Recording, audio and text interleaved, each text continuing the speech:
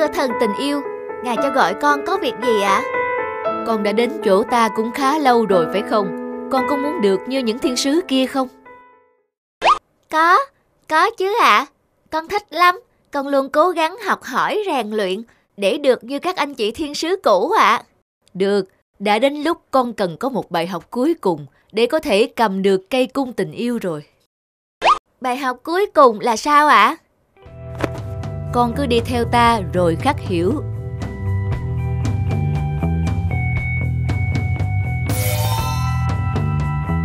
Đây là một cặp nam nữ yêu nhau. Sau những điều tích lũy được, con hãy lên nói cho ta biết họ đang yêu nhau như thế nào. Dạ vâng ạ, con sẽ làm tốt nhiệm vụ của mình.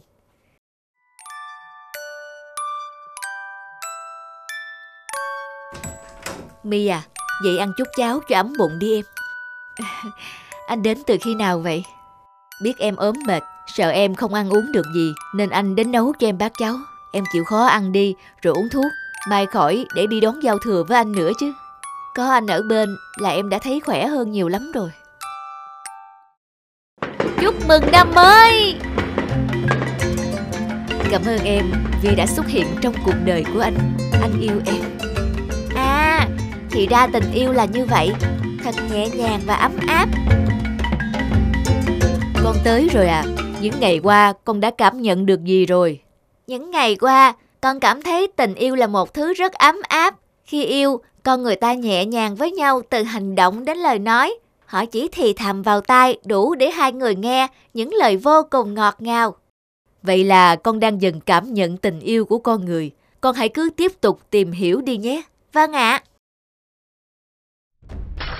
Có chuyện gì mà đêm khuya thế này rồi, nhà của đôi tình nhân kia lại ồn ào như vậy nhỉ? Mình phải vào xem thế nào mới được. Anh có biết hôm nay là sinh nhật của em, nhưng vì em biết anh bận rộn nên đã đến nhà nấu cơm để mong có một bữa tối ấm áp với anh. ấy vậy mà anh hứa về sớm, giờ đã 11 giờ đêm rồi. Anh còn chẳng nhớ nổi để mà chúc mừng em hay có một món quà nhỏ. Anh nghĩ xem. Dạo gần đây bọn anh chuẩn bị cho dự án mới.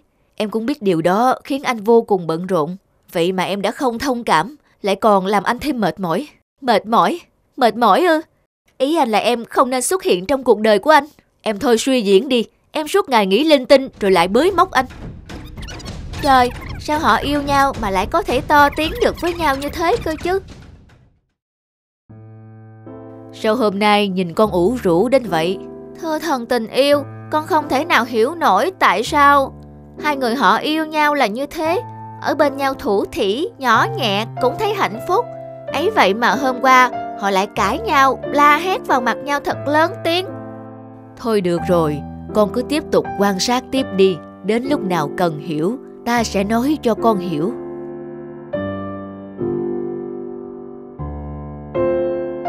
Con chào thần tình yêu, hôm nay ngài lại đến đây gặp con có chuyện gì ạ? À? Ta đến để xem con đã cảm nhận được điều gì từ tình yêu của con người. Con đang quan sát gì vậy? Thời gian qua có rất nhiều thứ khó hiểu đối với con. Lúc thì họ vui vẻ thủ thỉ, như cả thế giới chỉ có mình họ. Nhưng cũng có lúc họ cãi vã to tiếng và giận hờn cả thế giới. Tuy nhiên thời gian gần đây thì họ lại khá trầm lắng. Ngày hôm nay, công việc mà cô ấy cố gắng suốt bao tháng nay không đạt được kết quả tốt. Cô ấy đang rất buồn. Chắc hẳn chỉ một lúc nữa thôi, khi người yêu đến, cô ấy sẽ kể lể hết mọi chuyện cho anh ta nghe thôi. Vậy con có hiểu vì sao khi mới yêu, hai người họ luôn nhỏ nhẹ với nhau, trao cho nhau những câu tình tứ không? Vì họ yêu thương nhau nên muốn dành cho nhau những điều ngọt ngào và nhẹ nhàng nhất ạ. À. Đúng vậy, vì họ yêu thương nhau, trái tim của họ cận kề nhau, khoảng cách giữa họ rất nhỏ. Vậy nên những lời yêu thương chỉ cần đủ cho hai người là được. Vậy tại sao trong cơn giận dữ, họ lại phải thét thật to vào mặt nhau? À, tại vì vì họ mất bình tĩnh và tự chủ ạ. À. Cho dù thế, họ vẫn có thể nói với một âm thanh vừa phải đủ nghe mà. Vì họ đang ở cạnh nhau, đâu cần phải hét lên. Con, con thật sự không biết ạ. À. Khi hai người giận nhau, thì trái tim của họ đã không còn ở gần nhau nữa. Từ trong thâm tâm họ cảm thấy giữa họ và người kia có một khoảng cách rất xa, Nên muốn nói cho nhau nghe thì họ phải dùng hết sức để hét lên thật to. Sự giận dữ càng lớn thì khoảng cách càng xa. Họ càng phải nói to hơn để tiếng nói của họ bao trùm khoảng cách ấy. Ồ, thì ra là vậy. Hóa ra mặc dù họ gần nhau, nhưng khoảng cách con tim đã làm họ xa cách đến như vậy.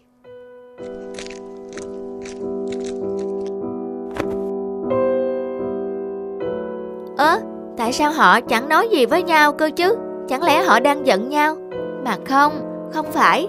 Họ không hề cãi nhau, họ đang yêu nhau đến mức sâu đậm. Bởi khi yêu sâu đậm thì con người ta không cần phải nói nữa.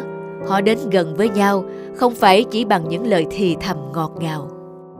Đến lúc này thì ngay cả thì thầm cũng không cần thiết nữa, con có hiểu không?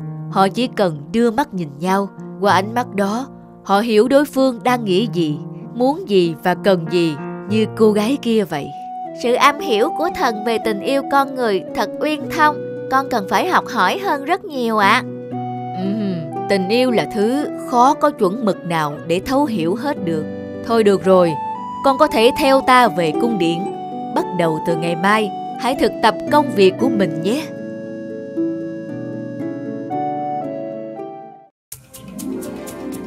Tuyệt chiêu của chuột.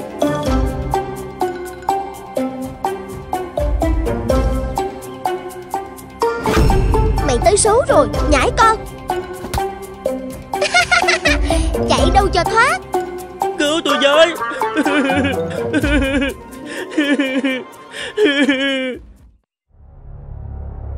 Hey, chuột xám và chuột vàng lại bị mụ mèo qua xử. Cứ như thế này Họ nhà chuột chúng ta sớm muộn cũng tuyệt chủng thôi. Thế bây giờ ông bảo chúng con phải làm sao? Không ra ngoài kiếm ăn thì chết đói Mà ra ngoài thì lại bị mụ mèo quá xử. Đúng là tiến thoái lưỡng nan. Thế nên hôm nay ta mới tập hợp tất cả mọi người lại đây Để bàn bạc xem có cách gì để đối phó với mụ mèo qua ấy không. Mụ ấy gian xảo lắm. Xưa giờ họ nhà chuột chúng ta bài đủ cách mà có xử được mụ đâu. Mụ ấy còn giả chết để lừa chúng ta vào bẫy nữa chứ. Hay, không lẽ chúng ta sắp teo thật hay sao? Này chuột nhất. Cậu vốn thông minh nhanh nhẹn. Cậu có sáng kiến gì không? À có cách rồi. Cách gì vậy? Mau nói cho mọi người cùng nghe đi. Trước giờ chúng ta toàn nghĩ đến việc chiến đấu với mèo hoa, mà không biết rằng đó chẳng khác nào lấy trứng chọi đá. Vậy thay vì đối đầu, chúng ta hãy tặng quà nó đi. Tặng quà cho mụ mèo hoa sao? Cậu có bị làm sao không hả chuột nhắc? Mụ ta là kẻ không đội trời chung với chúng ta, lại còn đi tặng quà nữa. Phải đấy, có phải cậu sợ quá hóa rồ rồi không? Tôi nói nghiêm túc đấy, và tôi tin chiến thuật lần này sẽ thành công.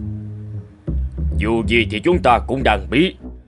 Chuột nhắc vốn thông minh, chắc cậu ấy sẽ không nghĩ ra cách điên rồ nào mà phải có lý do của nó. Nào, hãy trình bày tiếp đi. Mọi người nghe đây, chúng ta sẽ tặng cho mèo qua một chiếc tivi. Một chiếc tivi sao?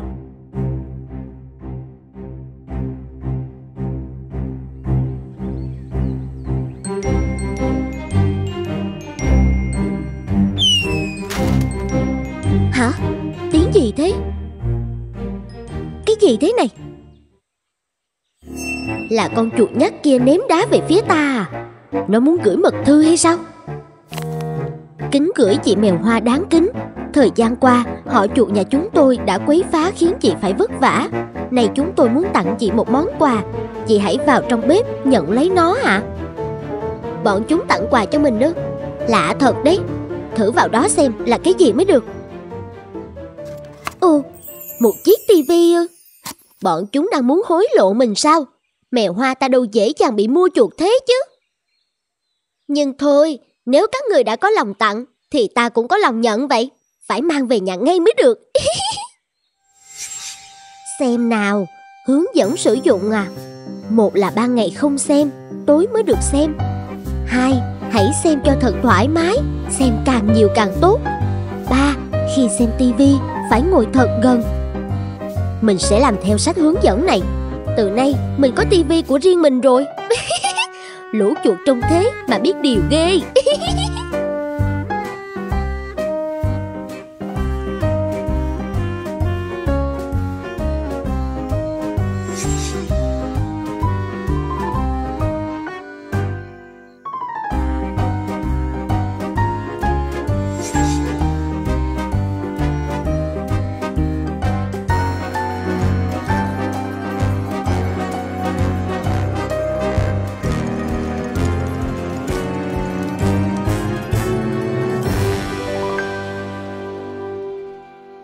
Sau hôm đó, mèo Hoa đắm chìm vào những chương trình thú vị diễn ra trên TV. Nó làm theo sách hướng dẫn, xem TV suốt đêm, ngồi sát màn hình và ban ngày mệt quá thì nó lăn ra ngủ. Lũ chuột nhờ thế mà tha hồ ăn vụng, phá phách. Một thời gian sau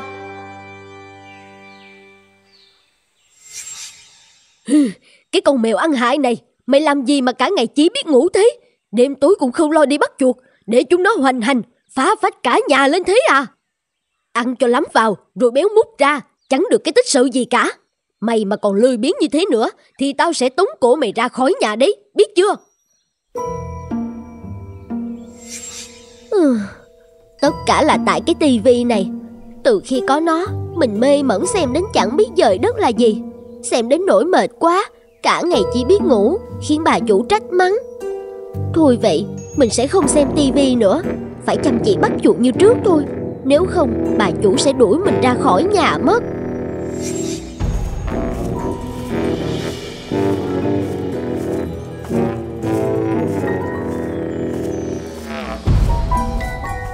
Không xong rồi.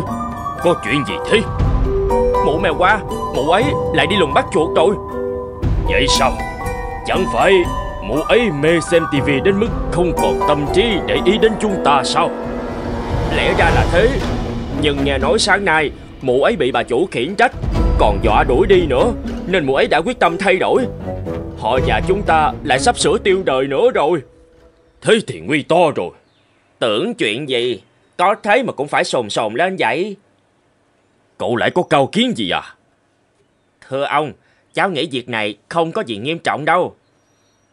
Ý cậu là, Chúng ta cứ chờ xem, Chỉ được một vài ngày thôi.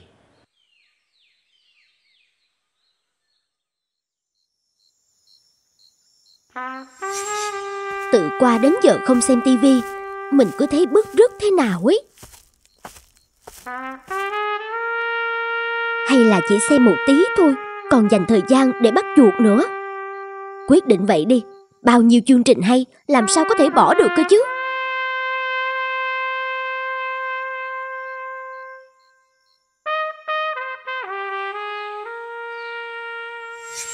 Con chuột kia Mày tới số rồi. Thôi mụ mèo quá. Hả? Rõ ràng mình đã đập trúng nó mà. Sao lại trượt nhỉ?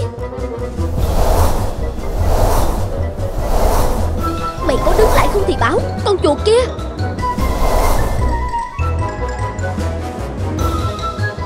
Sao Sao mắt mình lại mờ thế này? Có cái đã không thấy con chuột đâu rồi Mắt mình làm sao thế này? Trời ơi! Chúc mừng nào Chúc mừng nào Chúc mừng nào. Ăn mừng kẻ không đội trời chung của chúng ta đã thất bại. Từ giờ không thể giết hại chúng ta nữa rồi. Không ngờ mưu kế của chuột nhắt Lại thành công ngoài sức mong đợi đến vậy. Mụ mèo qua mê xem tivi đến nỗi mờ cả mắt Không còn nhìn rõ chúng ta nữa. Ngồi xem lắm Chẳng chịu vận động Nên béo múp vào Không còn nhanh nhẹn như trước nữa. Tôi đã bảo kế hoạch này chắc chắn sẽ thành công mà. Chuột nhắt thông minh lắm Tất cả là nhờ công của cháu. Có gì đâu ạ. À. Cháu chỉ biết rằng Khi đối diện với kẻ thù nguy hiểm Cần dùng trí thông minh Khéo léo mua chuột chúng Bằng những thứ tưởng như mang lại lợi ích cho chúng. Nhưng thực chất lại là vũ khí khiến chúng bị cám dỗ Rồi suy yếu từng ngày Và không còn tấn công ta được nữa. Đúng vậy, đúng vậy. Nào, nâng ly chúc mừng một lần nữa nào. Titan, con gái người đánh cá. Ngày xưa ngày xưa, ở vịnh Malimen thuộc đất nước Myanmar xa xôi, có vợ chồng ngư dân nghèo sống cùng cô con gái độc nhất tên là Titan. Hôm nay biển lặng gió, hy vọng mình sẽ đánh được nhiều cá về cho cha mẹ. Đằng kia là gì thế nhỉ? À, một chiếc vỏ ốc thật đẹp làm sao? Tuyệt quá đi, đem cái này về, chắc chắn cha mẹ sẽ thích lắm cho xem. Cha mẹ ơi, con về rồi. Titan con đã về rồi hả? Con mệt lắm không? Hôm nay có bắt được nhiều cá không con? Dạ, con cũng bắt được một ít cá trong giỏ. Nhưng cha mẹ nhìn xem, con đã thấy một chiếc vỏ ốc. Nó đẹp lắm đúng không ạ? Con tìm đâu ra cái này? Con thấy nó trong cái vịnh vắng vẻ, phía dưới chân ngọn núi kia kìa. Con nghĩ chắc con là người đầu tiên đến đó. Mẹ không nghĩ là con đi xa tới vậy Titan à. Nguy hiểm lắm đó. Dùng biển ấy là chỗ của thần Ma Sim giữ gìn. Thần hay ngủ trưa ở đây và sẽ trừng phạt kẻ nào dám quấy nhiễu ngài. Con không bao giờ được đến đó nữa nha con. Cha ơi, ở đấy rất đẹp, con chẳng thấy thần nào cả. Nhưng nếu cha không thích thì con không đến đấy nữa. Con xin vâng lời cha. Con gái của ta ngoan quá. Con cũng đã mang vỏ ốc này về rồi. Cha sẽ làm chiếc vỏ ốc này thành vòng cổ cho con nha. Con cảm ơn cha, tuyệt vời quá ạ. À. Trông thật giống đứa con gái đã mất của ta. Cô bé quả thật rất đáng yêu và xinh đẹp thưa ngài. Nó thật hợp để làm một cô công chúa nhỏ. Đợt đó con bé đến Vịnh trường chơi. Ta đã nhắm bắt nó về làm con gái ta rồi. Đức vua anh Minh, người quả thật có mắt nhìn. Ngươi cũng thấy thế à? Lần sau thấy Titan bơi thuyền ra khơi, phải lập tức hướng thuyền cô bé về vùng biển này ngay. Nó sẽ ở đây, trở thành công chúa của vùng biển này. Thần tuân lệnh, thần sẽ ngay lập tức đem công chúa về cho ngài. Có gì đó lạ lắm, mình không điều khiển được mái chèo. Ôi không, thuyền cứ trôi về phía vịnh nước kia. Mình đã hứa với cha sẽ không tới đó nữa rồi. À, dừng lại đi mà, thuyền ngày càng trôi nhanh. À, cứu, ai đó giúp tôi với, Đây là đâu thế này? Nơi đây là thủy cung của ta. Con chào ngài ạ. À. Xin hỏi ngài là ai? Titan, con đừng sợ. Ta là Masim thần giữ vịnh. Chúng ta đã tặng con chiếc vỏ ốc con đeo trên cổ đây. Con xin cảm ơn ngài, nó thật sự rất tuyệt. Ta đưa con đến đây vì muốn con ở lại đây thay thế con gái ta. Ở đây con sẽ được sung sướng, muốn gì được đó. Nhưng cha mẹ con sẽ sống ra sao nếu thiếu con? Xin thần hãy cho con được trở về. Không được, con mới tới. Cứ ở đây chơi vài bữa. Nếu con thấy thích, con hãy ở lại đây làm con gái của ta. Chẳng bao lâu con sẽ quên đi căn nhà nghèo nàn xấu xí của con. Dạ thưa, sẽ chẳng bao giờ con quên được ngôi nhà thân yêu đó. Ở đó có dân làng, có cha mẹ luôn yêu thương con. Con khoan từ chối. Akaiman, từ nay ngươi sẽ theo để chăm sóc con bé. Đưa con bé đi thay đồ đi. Bà Akaiman ơi, cha ơi, trang sức và quần áo đẹp quá. Lần đầu tiên con được thấy những thứ này. Con rất đáng yêu, đẹp lắm. Công chúa bé bỏng à, con rất xinh đấy. Thật vậy hả bà? Con vui quá. Hóa ra làm công chúa sẽ được sung sướng như vậy sao? Đúng vậy đấy. Con có muốn ở lại đây không? Ta sẽ dẫn con đi chơi thủy cung, còn vô vàng những điều mới mẻ kỳ diệu nữa.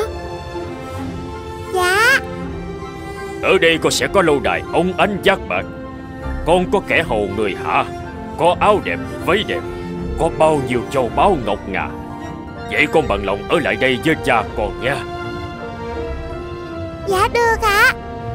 Ôi, thủy cung đẹp quá, mọi vật mới tuyệt diệu làm sao. Nếu được sống suốt đời ở đây thì còn gì may mắn bằng. Titan, Cha cho người cá đến đây làm bạn với con nha Không cần đâu ạ Con đã xem các bạn ấy biểu diễn nhiều lần rồi Vậy con muốn gì nữa nào Miễn là con vui vẻ Ở đây luôn với cha. Điều gì cha cũng có thể đồng ý với con. Nhưng cha ơi Con Con muốn xin về nhà. Con rất nhớ cha mẹ con. Không được Con phải ở đây. Không được phép của ta. Không ai cho phép con về hết. Giá mà mình không tới vịnh nước sâu. Giá như mình chẳng nhặt chiếc vỏ ốc này về Chắc giờ cha mẹ đang lo lắng lắm. Cha mẹ đừng lo nhé Con sẽ tìm cách về sớm. Một tháng sau.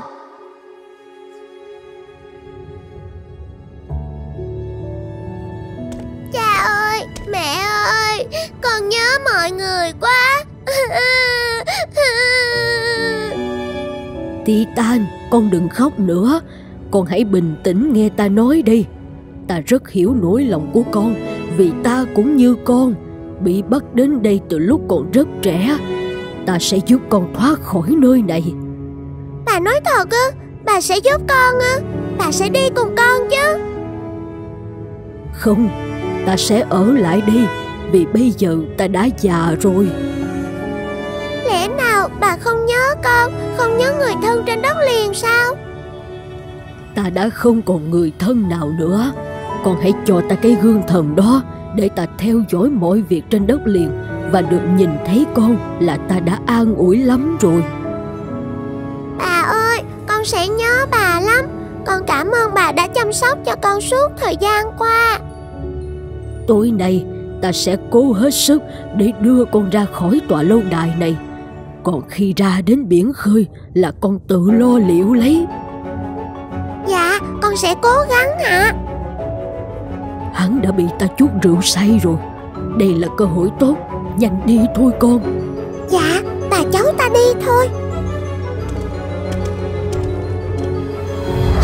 Titan Phía trước kia là nơi cất giấu chiếc thuyền của cháu. Tới đây cháu phải tự mình chèo chống về nhà. Bà chỉ đưa cháu tới đây được thôi. Bà ơi cháu sẽ nhớ bà lắm. Nhanh nào cô gái Về nhà thuận buồn xuôi gió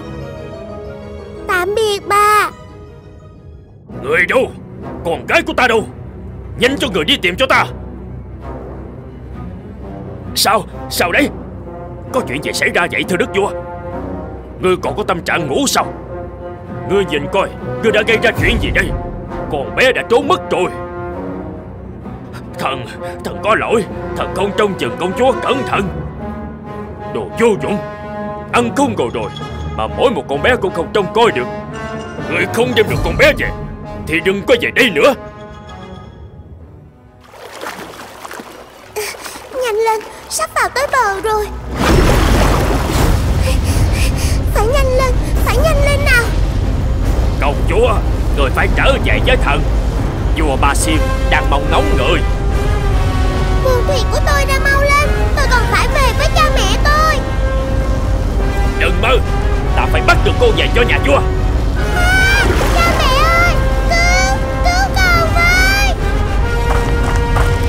Trời ơi Kia là thuyền của con gái Titan của tôi. Cầu xin mọi người Hãy cứu lấy con bé. Thầy bác yên tâm Chúng cháu sẽ dốc sức đưa Titan trở về. Đừng mong thoát khỏi tay ta. Cha ơi Nó bắt được chân con rồi Con sợ lắm. Bắt được ngươi về Ta sẽ không còn bị lo xử phạt nữa. Ôi! À, à, Đau quá Đau quá Ta sẽ không tha cho các ngươi đâu. Hãy đợi đấy. Con nhớ cha mẹ quá. Không sao rồi Con trở về là tốt rồi. Chào mừng con trở về. Chúc mừng. Chúc mừng gia đình đoàn tụ. Tạm biệt bà Akaiman Con sẽ sống thật tốt. Bà đừng lo cho con nhé. Bạch tuộc không đưa được Titan về Nên đã làm thần Maxim nổi cơn giận dữ. Vì vậy Năm nào vịnh cũng có một xoáy nước rất dữ dội vì những chiếc râu khổng lồ của bạch tuộc luôn muốn hút người về dưới thủy cung. Hãy like, comment, subscribe kênh để xem thêm những video mới nhất nhé!